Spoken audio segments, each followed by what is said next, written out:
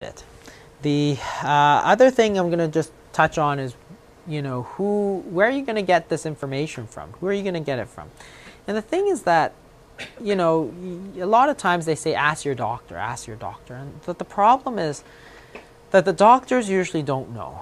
Uh, and I know this very well because I went through medical school, I went through training, I did all my training, I did kidney disease. And nutrition impacts really a lot of what I do. In fact, most of what I do. But if you look at the amount of training that I received, it was probably about two or three hours in medical school.